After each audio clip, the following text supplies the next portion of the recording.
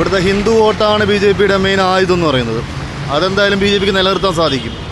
ആ വേറൊരു കുഴപ്പം തന്നെ അപ്പുറത്ത് കോൺഗ്രസിന് നല്ല നേതാക്കന്മാരില്ല. കാരണം അതിന് പറ്റിയ നേതാക്കന്മാർ അതിനകത്തില്ല. കോൺഗ്രസിനില്ല. അതുകൊണ്ട് ഒട്ടും ആഗ്രഹമില്ല കേട്ടോ ബി ജെ പി ഭരിക്കുന്ന ഒരു ആഗ്രഹവും നിലവിലില്ല. സുരേഷ് ഗോപിയുടെ ഒരാളെ പുള്ളിയായിട്ട് പ്രമാണിയെ പോലെ പോലെ സംസാരിക്കുന്നു. നമ്മൾ ജനങ്ങളല്ലേ? ജനങ്ങളെ ഡിപ്പെൻഡ് ചെയ്തതിന്റെ മുമ്പ് ഇലക്ഷൻ നടക്കുന്നത്. ഈ പുള്ളി നേരത്തെ ജയിച്ച പോലെയാണ് പുള്ളിയുടെ സംസാരം. കേരളത്തിൽ ജയിക്കില്ല. നിങ്ങൾ തൃശ്ശൂർ പോയിട്ട് അന്വേഷിച്ച് നോക്ക്. നിങ്ങൾക്ക് തൃശ്ശൂർ സിറ്റിയിൽ മാത്രമേ സുരേഷ് ഗോപി ജയിക്കുന്നു പറയുള്ളൂ. ലോക്സഭ ഇലക്ഷൻ അല്ല നമ്മുടെ നോർമൽ ഇലക്ഷൻ ആയിരുന്നെങ്കിൽ ഞാൻ പറഞ്ഞേനെ എൽ ഡി എഫ് നല്ല അന്തസ്സായി പൊട്ടുന്നു.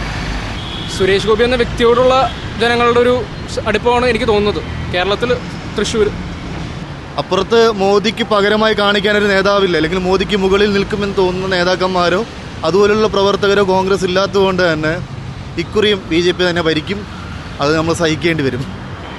Hello guys welcome back to our channel and welcome to another blog കേരളത്തിൽ തെരഞ്ഞെടുപ്പ് ചൂട് കനക്കുകയാണ്. ഈ വരുന്ന ലോക്സഭാ ഇലക്ഷനിൽ ആര് ജയിക്കും എന്നുള്ള ഒരു പബ്ലിക് ഒപ്പീനിയൻ വീഡിയോ ആണ് നമ്മൾ ചാനൽ ചെയ്യുന്നത്. വീഡിയോയിലേക്ക് പോകാം ഇപ്പോൾ ഇലക്ഷനിൽ ആര് ജയിക്കുന്നതാണോ വിചാരിക്കുന്നത്? ഒന്നും പറയാൻ പറ്റില്ല. എന്തായാലും ഈ കേരള നമ്മൾ വിചാരിക്കുന്ന യു ഡി എഫ് പിന്നെ ഇന്ത്യ ഘട ഘടകശിവനാണ് ഇന്ത്യ. ആര് വരണമെന്ന് ആഗ്രഹിക്കുന്നത്? ഇന്ത്യയുടെ. ഇന്ത്യ മുന്നേറ്റം ഇന്ത്യ മുന്നണി അപ്പോൾ കേരളത്തിൽ എത്ര സീറ്റ് കിട്ടുമെന്നാണ്? പ്രവചിക്കാൻ നമ്മളാളല്ല എങ്കിലും ഒരു പത്തൊമ്പത്. സീറ്റ് എൽ ഡി എഫിന് കിട്ടും. എൽ ഡി എഫിനില്ല യു ഡി എഫിൽ യു ഡി എഫ് രണ്ടായാലും ഇന്ത്യ മുന്നണിയാണ് അതെ അതെ അതെ. പിന്നെ മോദി വീണ്ടും അധികാരത്തിൽ വരാൻ ഏ ഒരു രക്ഷയില്ല. ജനങ്ങൾ ബുദ്ധിമുട്ട് പിന്നെ വിദ്യാഭ്യാസമുള്ള പിള്ളേർക്ക് ജോലിയില്ല. നമ്മളിവിടെ പിന്നെയും കുഴപ്പമില്ല. നോർത്ത് ഇന്ത്യയിലേക്ക് ഭയങ്കര കഷ്ടമാണ് ബി ജെ പി കേരളത്തിൽ അക്കൗണ്ട് തുറക്കാൻ ചാൻസ് അത് ചാൻസ് കുറവാണ് തൃശ്ശൂർ ഏ അത് വെറുതെയാണ്. സുരേഷ് ഗോപിയുടെ ഒരാളെ പുള്ളിയായിട്ട് പ്രമാണിയെ പോലെ പോലെ സംസാരിക്കുന്നു. നമ്മൾ ജനങ്ങളല്ലേ? ജനങ്ങളെ ഡിപ്പെൻഡ് ചെയ്തിട്ട് നമ്മൾ ഇലക്ഷൻ നടക്കുന്നു ഈ പുള്ളി നേരത്തെ ജയിച്ച പോലെയാണ് പുള്ളിയുടെ സംസാരം. അങ്ങനെ ഒരിക്കലും ഒരു ഏതൊരു ഏതൊരു രാഷ്ട്രീയ പാർട്ടികളും അങ്ങനെ സംസാരിക്കാൻ പറ്റില്ല. അതാണ് നമുക്ക് എന്റെ ഒരു ആ കേന്ദ്രം ബി ജെ പി ഭരിക്കും. എത്ര സീറ്റ് കിട്ടുമായിരുന്നു എത്ര സീറ്റ് കിട്ടുമെന്ന് എനിക്കറിയില്ല. ബി ജെ പി ഭരിക്കും.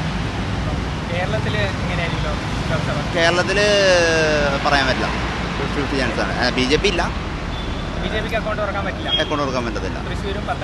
ഒരു പ്രതീക്ഷയില്ല. തൃശ്ശൂരൊക്കെ സുരേഷ് ഗോപി എത്ര തലകുത്തി നിന്നാലും കിട്ടത്തില്ല. ഇല്ല. അതും പറ്റത്തില്ല. കാരണം എന്താ വെച്ച് കഴിഞ്ഞാൽ എൽ ഡി എഫ് ആണെങ്കിലും യു ഡി എഫ് ആണെങ്കിലും ഒരേപോലെ ഏകദേശം ആണ്. എൽ ഡി എഫിന് ഇപ്പോൾ മാരകമായിട്ട് നെഗറ്റിവിറ്റി ഉണ്ടെങ്കിൽ പോലും അത് ലോക്സഭ ഇലക്ഷൻ ആയതുകൊണ്ട് അതൊന്നും പറയാൻ പറ്റില്ല.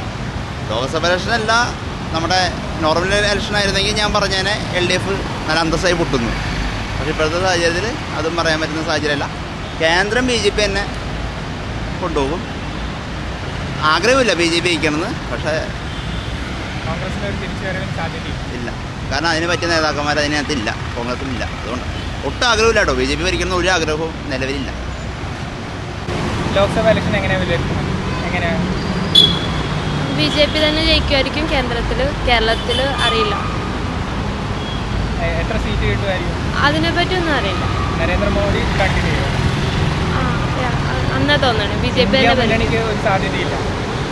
പ്രതിപക്ഷം മുന്നണി തോന്നണില്ല ഇപ്പോഴത്തെ സാഹചര്യം. ഈ ലോക്സഭ ഇലക്ഷനിൽ ആര് ജയിക്കുന്നതാണ് ജയിക്കാൻ ആഗ്രഹം എന്നാണോ സാധ്യതയെന്നോ?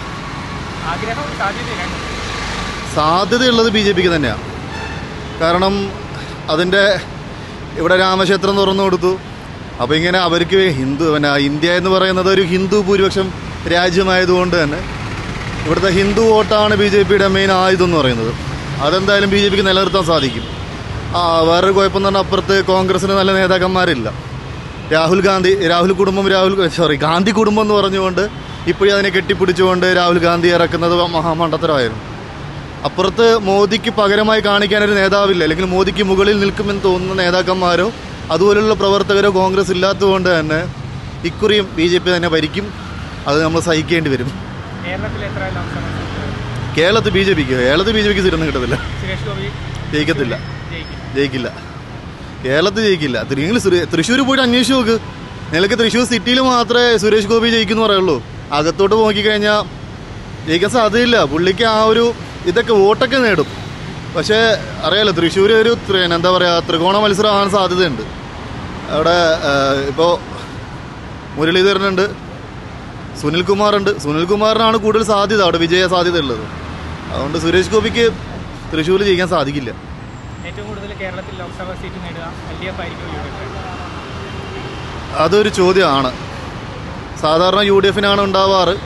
കാരണം ഇപ്പോൾ കഴിഞ്ഞ ഇപ്പോൾ അഞ്ച് വർഷം മുമ്പ് യു ഡി എഫിന്റെ ഒരു ക്യാമ്പയിൻ തന്നെ പറയുന്നത് എങ്ങനെയെങ്കിലും കേന്ദ്രത്തിന് ബി ജെ പിയെ ഇല്ലാതാക്കുക എന്നുള്ള ഉദ്ദേശം കൊണ്ട് തന്നെ കേരളത്തിലുള്ള ആളുകൾ ഈ പാർട്ടി നോക്കാതെ യു ഡി എഫ് ആളുകൾ യു ഡി എഫിലെ യു ഡി എഫ് അല്ല യു- ഇപ്പോൾ ഇന്ത്യ മുന്നണി ഇന്ത്യ മുന്നണിയിലെ ആളുകൾക്ക് വോട്ട് നൽകി അവിടെ കൊണ്ടുപോയി ഇല്ലാത്ത പ്രയോജനം ഒരു പ്രയോജനം ഇല്ലാതായി മാറി. അപ്പോൾ ഇക്കുറി അത് ആ ഒരു തുറുപ്പിച്ചിട്ട് ഇറക്കാനുള്ള സാധ്യതകളില്ല. മാത്രമല്ല ജനങ്ങൾ ഇപ്പോൾ കുറച്ചും കൂടി ബോധവാന്മാരാണ്. കേരളത്തിൽ കേട്ടോ പുറത്തല്ല. കേരളത്തിലെ ജനങ്ങൾ കുറച്ചും കൂടി ബോധവാന്മാരാണ്. അപ്പോൾ അവർക്ക് ആരെ കൊണ്ടാണ് പ്രയോജനം? ആ നേതാക്കന്മാർക്ക് വോട്ട് കൊടുക്കുക എന്നുള്ളതാണ് അവിടെ ഒരു പാർട്ടി നോക്കുന്നില്ല. അവർക്ക് നല്ലൊരു നേതാക്കന്മാർ ഇവിടെ പാർലമെന്റിലെത്തണം അവരുടെ കാര്യങ്ങളൊക്കെ ലോക്സഭ ഇലക്ഷനിൽ സാധ്യത എന്ന് പറയുമ്പോൾ ഇപ്പോഴത്തെ ഗവൺമെന്റ് കുഴപ്പമൊന്നുമില്ല. എന്നാലും പിന്നെ ഒന്നും പറയാൻ പറ്റാത്ത സാഹചര്യത്തിലാണുള്ളത് കാരണം ഇപ്പോൾ മത്സരിക്കുന്ന ഓരോ സ്ഥാനാർത്ഥികളും ഒന്നിനൊന്ന് മെച്ചാണ് ഇപ്പോൾ എക്സ്പെഷ്യലി ഇപ്പോൾ എടുത്ത് പറയുകയാണെങ്കിൽ ഇപ്പോൾ പാലക്കാട് മത്സരിച്ച് നമ്മൾ ഷാഫി പറമ്പിൽ ഇപ്പം വടകരയിലേക്ക് പോകും ഭയങ്കര ത്രില്ലറാണ് യൂത്തർമാരൊക്കെ ഉള്ളത്. അതുകൊണ്ട് നമുക്കൊന്നും ഇപ്പോൾ പ്രെഡിക്റ്റ് ചെയ്യാൻ പറ്റില്ല. എന്തായാലും ഒരു എന്താ പറയുക അത്രയും വാശിയേറിയ ഒരു പോരാട്ടമായിരിക്കും ഇപ്രാവശ്യത്തെ പാർലമെന്റ് ഇലക്ഷൻ അതിൽ യാതൊരു സംശയവും അതിപ്പം ഇതെല്ലാം എങ്ങനെ ഇപ്പോൾ പറയാന്നുള്ളത് കുറച്ചുകൂടി കഴിയുമ്പോൾ പറയാം. നമുക്ക് കുറച്ച് അത് വളരെ കുറവാണ് സാധ്യത വളരെ കുറവാണ് കേരളത്തിൽ എന്തായാലും സാധ്യത കുറവാണ് കേന്ദ്രത്തിൽ ഇപ്പോൾ അതും പറയാൻ പറ്റാത്ത സാഹചര്യത്തിൽ. കേരളത്തിൽ സാധ്യത കുറവാണ് ഈ ലോക്സഭാ തെരഞ്ഞെടുപ്പിൽ കേരളത്തിൽ ഏറ്റവും കൂടുതൽ സീറ്റ് നേടുക ആരായിരിക്കും? യു ഡി എഫിനാണ് സാധ്യത എന്നാണ് തോന്നുന്നത്. എത്ര സീറ്റ് കിട്ടും? അങ്ങനെ പറയാനറിയില്ല. U D F U D എഫിനാണ് കൂടുതൽ മുൻതൂക്കം എന്നാണ് എനിക്ക് തോന്നുന്നത് കേരളത്തിൽ. ബി ജെ പി അക്കൗണ്ട് തുറക്കാൻ ബി ജെ പി കൂടിപ്പോയ തൃശ്ശൂർ അതിൽ കൂടുതൽ സാധ്യത ഞാൻ കാണുന്നില്ല കേരളത്തിൽ. സുരേഷ് ഗോപിക്കാണ് സുരേഷ് ഗോപി എന്ന വ്യക്തിയോടുള്ള ജനങ്ങളുടെ ഒരു അടുപ്പമാണ് എനിക്ക് തോന്നുന്നത്. കേരളത്തിൽ തൃശ്ശൂർ കേരളത്തിൽ ആരായിരിക്കും ചെയ്യുന്നത് ഇപ്രാവശ്യം എൽ ഡി എഫ് തന്നെ ഇരിക്കും എന്ന് എനിക്ക് തോന്നുന്നു. എൽ ഡി എഫ് ആയിരിക്കുള്ളൂ. എത്ര സീറ്റ് കിട്ടും? പ്രഡിക്റ്റ് ചെയ്യാമോ? അറിയില്ല. അത് നമുക്ക് പറയാൻ പറ്റില്ല. കഴിഞ്ഞ പ്രാവശ്യം യു ഡി എഫിനായിരുന്നു സാധ്യത. പത്തൊൻപത് സീറ്റിലും യു ഡി എഫ് ആണ് വിജയിച്ചത്. ഇപ്രാവശ്യം അതിലും മാറ്റം ഉണ്ടാവുന്നതാണ്. ഉണ്ടാവുമായിരിക്കാം പ്രഡിക്റ്റ് ചെയ്യാൻ പറ്റുമെന്നില്ല അറിയില്ല.